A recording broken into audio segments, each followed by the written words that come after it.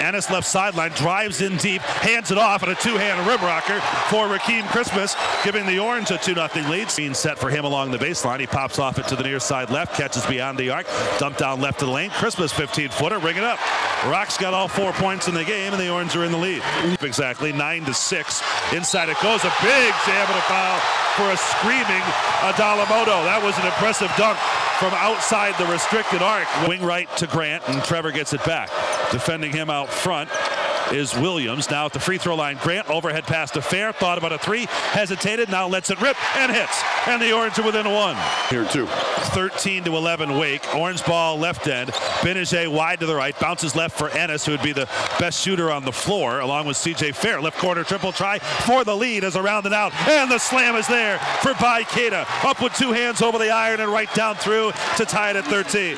Out of the backcourt, Ennis. The Orange looking for the lead. Gbinije wants three on the right. He's got it. And the Orange are in front 16-13. Timeout Jeff Bzdelik. And so much for the awful start. The Orange are back in the lead. Back to Ennis in the open floor right. 1-4 set. Deep in the corner right. It's fair. A foot fake. Now a jumper over Miller McIntyre.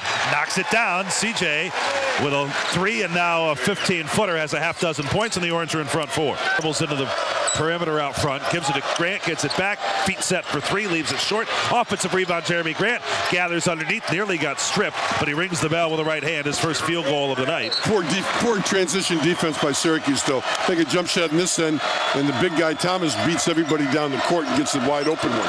Happens when your guard gets in deep. Again, from that same spot is Ennis' shot. They want to review it to see if it might be a three. Up ahead, it's Ennis. Fakes the handoff to Cooney. Feeds Grant in the post, turning, firing, hitting on the hook into the lane. Jerami Grant's got a half dozen. One and done a couple times in a row here for Wake. Hit ahead to Grant, running the break, catches under the bucket, got a defender in the air, puts a shot on the rim and in, and he's headed to the line with a three-point play. And kicking back out, big three for the tie, left short by Williams, batted in the air and collected by Cooney. Hit ahead, Ennis kind of cherry picking, goes in with a righty scoop, good off glass. Ennis beat everybody down the floor, and the Orange have a five-point lead again. Keita up top, left foul line extended, CJ Fair. Crossover dribble, draws a second defender, baseline drive, pull up 12 footer around the rim and off. Comes down to Grant and Keita, Baye's got it. Shovels to Cooney, passes up the open shot. Now to Ennis in the lane. Floater is good for Tyler Ennis.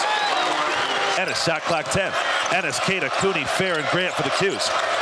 Ennis around the head, shot clock five, sees a lane, into the paint, floater with the right. What do you think for Tyler Ennis? He's absolutely terrific, right? Trevor Cooney holds shin high, rips it through to the free throw line. 17 footers short. Rebound tip by McKie. Back to Cooney.